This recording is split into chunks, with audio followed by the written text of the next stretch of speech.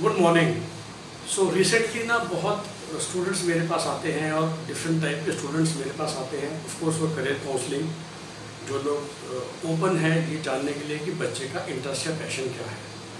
तो कन्फ्यूज़न दूर करने के लिए ना मैं आपको ये समझाता हूँ कि करियर आप दो तरीके से चूज़ कर सकते हैं और मैं हमेशा पेरेंट्स को बताता हूँ। और फिर डिपेंड करता है कि पेरेंट्स स्टूडेंट फैमिली बैकग्राउंड क्या है। और कुछ कोई भी गलतियाँ सही नहीं है। सो देखिए, एक उनको पुरानी लगना चाहिए। तो एक मॉडर्न फैमिलीज़ हैं। आई वुड से कि ये लोग अक्सर एफ्लुएंट होते हैं। ऐसा कुछ नहीं है कि जब बच्चे का करियर फाइनल कर रहे हो ना तो ठीक है, बच्चे ने करियर बनाना है, कल को पैसे भी कमाने हैं। लेकिन ऐसा कुछ नहीं है कि भाई, अगर ये फेल हो गया तो बहुत बड़ा नुकसान हो जाएगा। मतलब parents are there to support the kid generally इस केसेस में हम प्रॉपर वही साइकोमेट्रिक टेस्ट ले लेके डिसीशन करके हम बच्चे का इंटरेस्ट एप्टीट्यूड निकालते हैं और उसके हिसाब से फिर मैच करते हैं in the market opportunities and then finalise a career so अक्सर दो या तीन फेवरेट करियर निकलते हैं और फिर एक उन तीन में से भी एक करियर फाइनल किया जाता है looking at the various macro economic scenario एक दूसरा तरीका भी है, जो शायद दूसरे बच्चों के लिए ज़्यादा लागू होता है जो कि ट्रेडिशनल माइंड सेट से जाना चाहते हैं engineer doctor charter accountant lawyer etcetera cetera cetera और मैं उनको भी मना नहीं करता। और मैं शायद पहले ही पूछ लेता हूँ स्पेशली पेरेंट्स से जब उनका फ़ोन आता है कि आप क्या चाहते हैं? आप इंटरेस्ट और पैशन वाले रूट से जाना चाहते हैं या मार्केट में क्या चल रहा है उस रूट से जाना चाहते हैं? सो so, जो दो जो फ्रेमवर्क है ना वो ये है कि करियर चूज़ करने के लिए आप किसके लिए बने हैं? या मार्केट में क्या चल रहा है, हम तो वो भी कर ले, वो तो कुछ भी कर लेंगे जो मार्केट में चल रहा है। तो सभी जानते हैं कि पिछले पाँच साल से, या पिछले पंद्रह साल से मार्केट में आईटी और कंप्यूटर साइंस तो चल ही रहा है और कुछ करियर्स हैं जो कि बिल्कुल आउटडेटेड हो गए हैं, जिनकी किसी को ज़रूरत नहीं है। खासकर जो हाथ से काम करते थे, जो you know there are many career which are now obsolete जो पंद्रह साल पहले बहुत हिट हुआ करता था। वो थोड़ा सा कमज़ोर हो गया है और वो करियर जो इस समय जनरली ऑनलाइन के करियर इस समय काफ़ी चल रहे हैं। कंटेंट राइटिंग काफ़ी हिट है।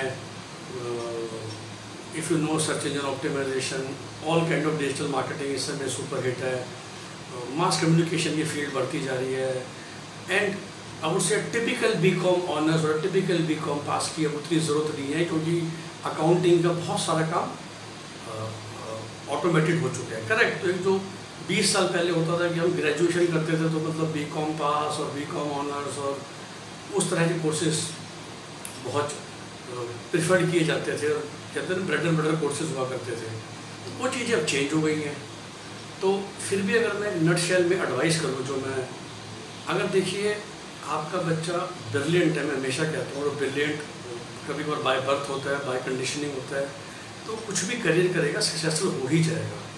उसमें बिल्कुल अगर आप इंटरेस्ट और पैशन वाला करियर दिलाएँगे तो वो सक्सेस के साथ साथ हैप्पी भी रहेगा और इन्जॉय करेगा अपने काम को ज़िंदगी भर। ऑफ़ कोर्स दूसरी चीज़ वही है कि आपका एक ट्रेडिशनल करियर है, आप उसके पीछे जाना चाहते हैं।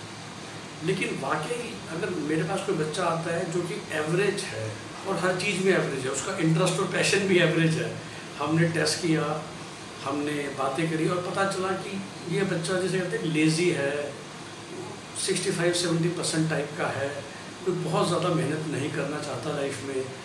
ऐसे बच्चों को तो मैं खुद ही सजेस्ट करता हूँ कि आप ये इंटरेस्ट और पैशन को छोड़िए, क्योंकि वो तो वैसे भी इसमें कुछ खास है ही नहीं। तो जो भी इंटरेस्ट और पैशन है, वो भी एक माइन्यूट लेवल पर ही है। तो उसके बदले बल्कि वही जो मार्केट में चल रहा है उसको वही कराते हैं।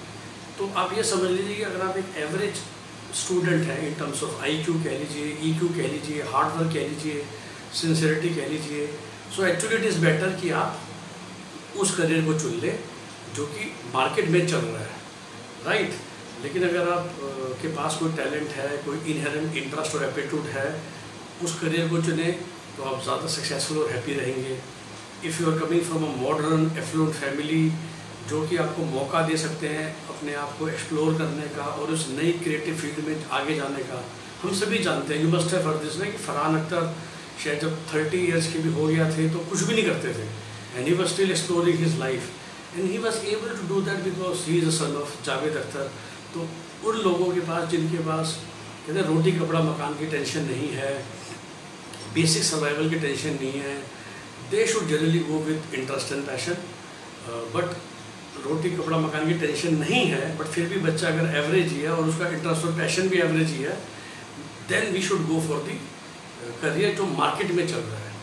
तो ये सेग्रीकेशन करना बहुत ज़रूरी है, ये क्लासिफिकेशन करना बहुत ज़रूरी है, जब हम अपना आइडियल करियर चुनने की कोशिश कर रहे हैं। तो इन बातों का ध्यान रखेंगे तो आपका बच्चा भी या स्टूडेंट भी सक्सेसफुल होगा हैप्पी होगा and we will live a fulfilling life thank you